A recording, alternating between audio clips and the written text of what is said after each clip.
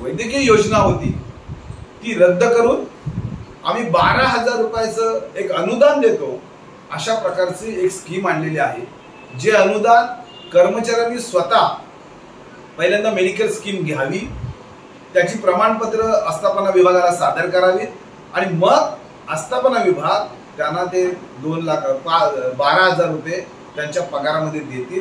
अशा प्रकारची फसवी योजना प्रशासनानं आणलेली आहे आणि सदर योजना गेल्या स- महिन्यामध्ये सप्टेंबर महिन्यामध्ये एकोणीस तारखेला विषय क्रमांक चाळीस अन्वये माननीय स्थायी समितीमध्ये मंजुरी करता पाठवलेली आहे. रक्कम ही दहा लाख करावी अशा प्रकारची महापालिका कर्मचाऱ्यांची मागणी असताना बारा हजार रुपये देऊन कर्मचाऱ्यांना तोंडाला पानं पुसण्याचं काम महापालिका प्रशासन करते. किंबहुना वैद्यकीय योजना ही काही काल निर्माण झालेली नाहीये. एकोणीसशे एकोणऐंशी सालापासून असणारी ही योजना याचा अर्थ असा आहे की ती महापालिका कर्मचाऱ्यांची सर्व्हिस कंडिशन आहे. सेवा शर्तीचा भाग आहे. आणि ह्या सेवा शर्तीच्या भागातून असणाऱ्या जबाबदारीतून प्रशासन पळ काढत आहे या सगळ्या बाबीचं सविस्तर पत्र आम्ही माननीय अध्यक्ष स्थायी समिती आणि स्थायी समितीमधले किंवा महा वेगवेगळ्या पक्षांचे गटनेते यांना पत्राद्वारे विनंती केलेली आहे की आपण याचा पुनर्विचार करावा. आणि जी काय महापालिका कर्मचाऱ्यांची जुनी योजना होती त्याच्यामध्ये आईवडिलांचा समावेश करावा. त्याची रक्कम दहा लाख करावी आणि ते मंजूर करण्यात यावं. जो काय ठराव आपल्या विचारार्थ आलेला आहे तो कोणत्याही परिस्थितीत नामंजूर कर- करण्यात यावा अशा प्रकारची विनंती आम्ही माननीय स्थायी समितीला केलेली आहे.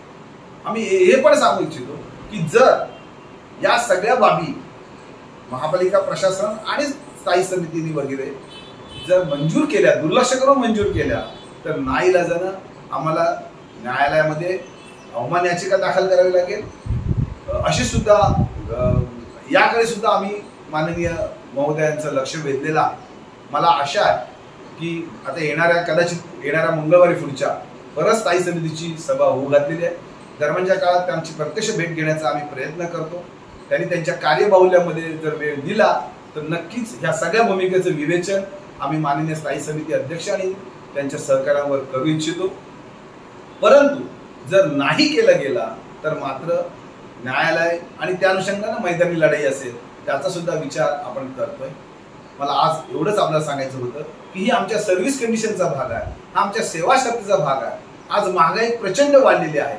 आणि त्यामध्ये महापालिका कर्मचाऱ्यांना ही वैद्यकीय योजना सीजीएनच्या स्कीम प्रमाणेच मिळाली पाहिजे. त्याच्यामध्ये आमच्या आई वडिलांचा समावेश व्हायला पाहिजे. ती दहा लाख किंवा जो काही खर्च होईल तो संपूर्ण द्यायला पाहिजे. अशा प्रकारची भूमिका घेऊन आपण मैदानामध्ये येतोय. मी महापालिका तमाम महापालिका कामगार कर्मचारी अधिकाऱ्यांना विनंती करेन की आपली एकजूट दी म्युन्सिपल युनियनच्या पाठीमागे खंबीरपणे उभी करावी.